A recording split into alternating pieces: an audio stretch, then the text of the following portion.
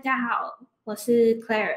那今天我想要分享的是，呃，What we learn from mock testing。那首先先介绍一下我自己，呃，我现在是 Line 的 Server Side Engineer，然后在这之前我也有做过呃 QA Automation 相关的工作。所以除了今天分享的 unit testing 相关的经验之外，嗯，整合测试还有 end-to-end 的测试也是我有兴趣的领域。那接下来的话，我会先分享什么是 mock testing，然后第二个会分享的是，因为接下来的范例我们会用 Mockito，所以我先介绍一下 Mockito 大概怎么写。那接下来才会介绍，呃，为什么我们要用 mock testing，以及最后是我们从里面学到一些经验的分享。好，首先什么是 mock testing 呢？从这个图来看的话，呃，假设今天我们想要测试中间的这个 component，那我们透过 mock testing，我们可以把这个 component 跟它其他相依的 module 做 isolation，那这样子的话，我们可以更专注的在测试我们的中间的这个 component，那同时也会让测试变得更简单。那接下来我会介绍一下呃 Mockito 的写法。首先，呃，我们先看一下这个范例。呃，现在的话有一个 user service 的物件。然后里面有个 method 叫做 create user，那这个 method 呢，它会建立一个 user 的物件。那如果呃它有已经有重复的，它就不会再建立。那如果是新的 user 的话，它会建立物件之后，然后再把它存到我们的 DB 里面。那如果用 Mockito 来写刚刚那个 create user 的测试的话，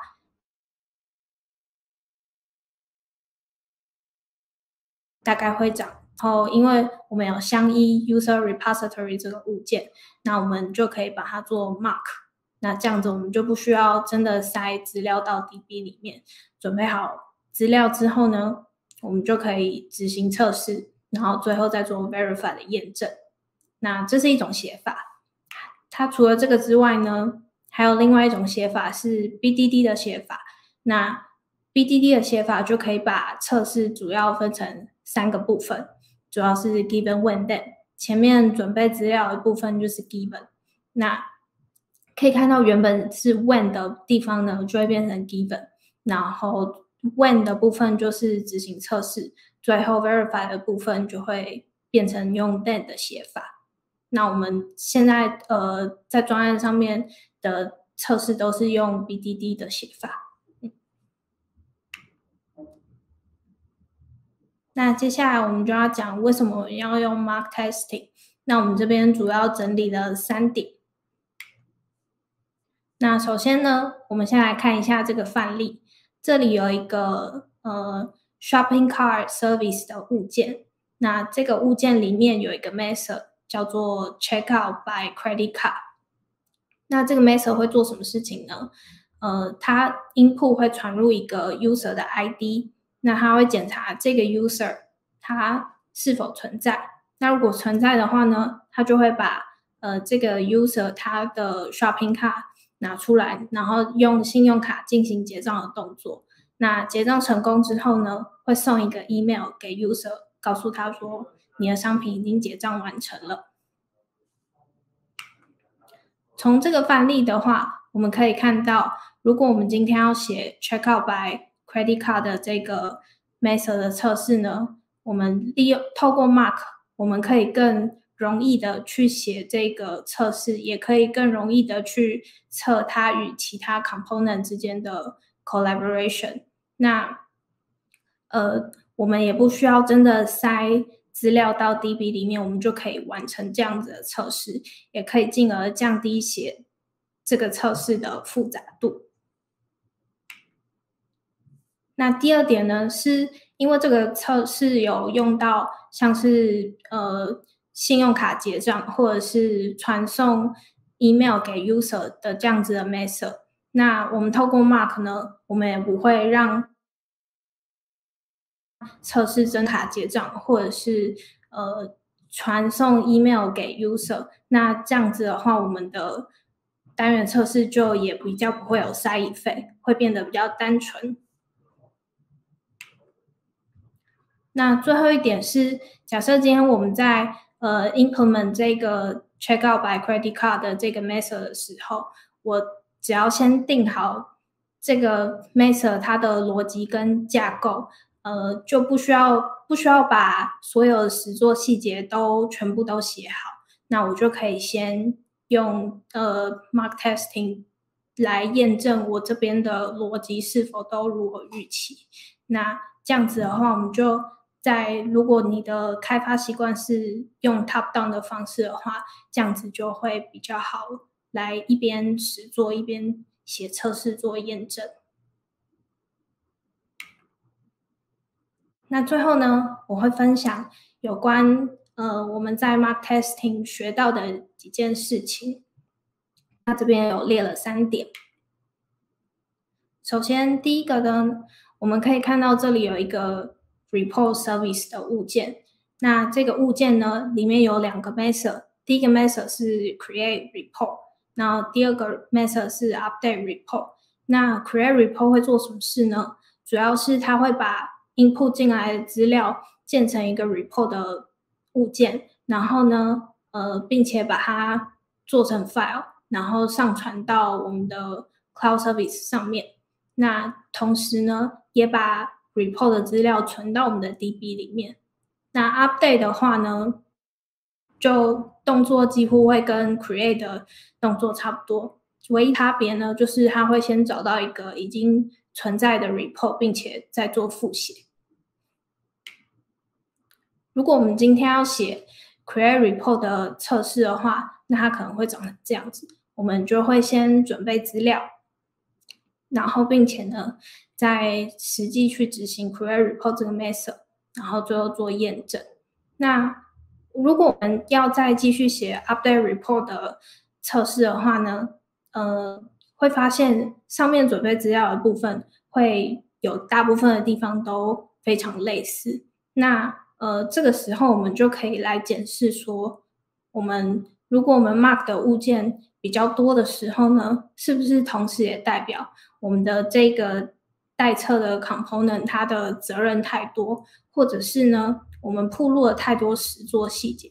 那以这边的例子的话，我们可以看到，其实建 file 跟 upload file 它其实都是呃连贯着的动作。那这个物件也许不需要知道那么多的细节。那我们可以其实透过 refactor 把这边再多抽一个抽象的界面，然后就可以让这边的呃 code 变得更干净。所以呢，refactor 之后呢，它就会变成这样。我们把呃呃 build file 跟 upload file 的部分再多抽了一层界面，叫做 report file service。那原本这个 report service 相应的物件有三个，就会变成两个。那测试的话也会变得相对比较简洁，然后呃，update 的部分的话就不会有这么多重复的 test code。那接下来的话，呃，是要讲到呃，如果我们今天有一个物件，它是 file upload helper，那 file upload helper 主要是呃，相应一个物件是 Amazon 的 S 三。那它有一个 method 叫做 copy file in same folder，就是它会把一个档案再做复制一份在同一个 folder 下面。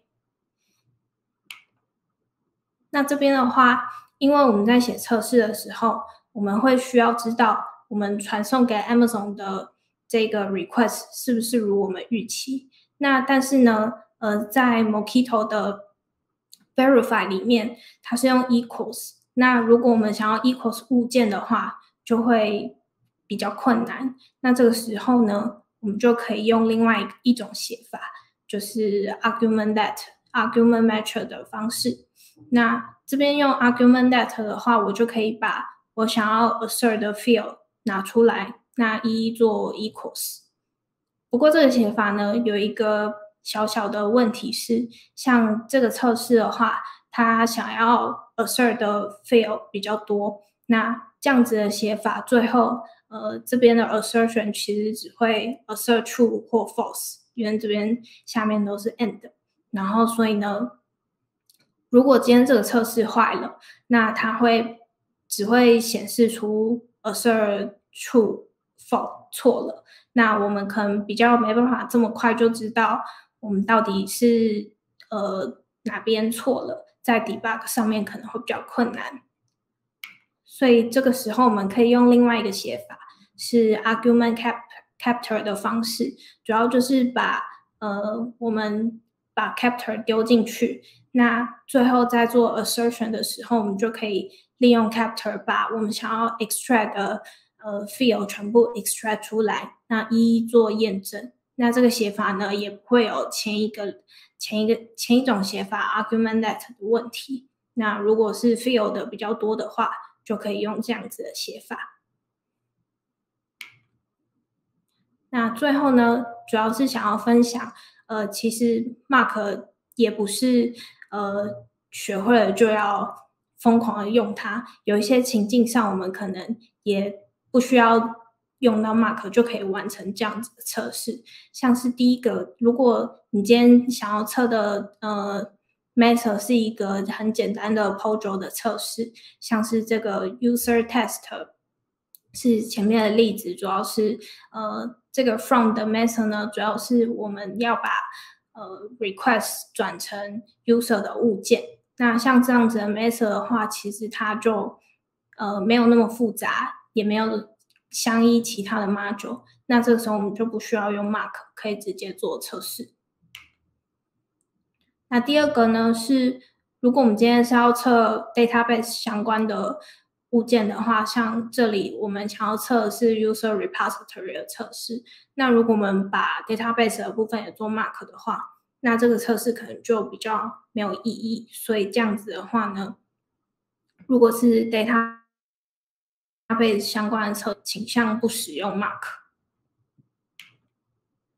那最后一个呢是有关 service 的测试。虽然我们呃在前面的范例我们有用到 mark，但其实我们不会把全部的相应的物件都做 mark。像这里的话。呃，user repository 就是 database 相关的这个 module，我们会做 mark，因为呃我们在测 service 的时候，我们可能觉得不需要，呃如果不用准备 database 的资料，测起来可能会比较简单，比较容易。那但是呢，像这边还有一个相应的 module 是 clock，clock 的部分我们就不不会特别在做 mark，但是呢，我们可以像在 setup 的部分，我们可以。给他一个固定的时间，那这样子的话，我们不需要做 mark，我们就可以完成这边的测试。好，那这边的话是我以上分享的参考资料。那如果有问题，也都可以再提出。以上这边是我的分享，谢谢大家。Clare，你有没有呃，因为你也在线上这样，那你有没有什么想要特别跟听众说的？嗯，好，嗯，那我觉得 Mark Testing 是一个蛮好的方法，可以让我们写出一个蛮呃。简洁，然后又是比较独立的测试，那我觉得就比较不会有像是呃，如果我今天想要测试一个逻辑，然后我还需要处理很多 dependency 这样子的情况。那如果像是我相信，如果是用 TDD 做开发的话，可能会更有感觉。对，然后呃，这边就是我以上今天的分享，谢谢大家。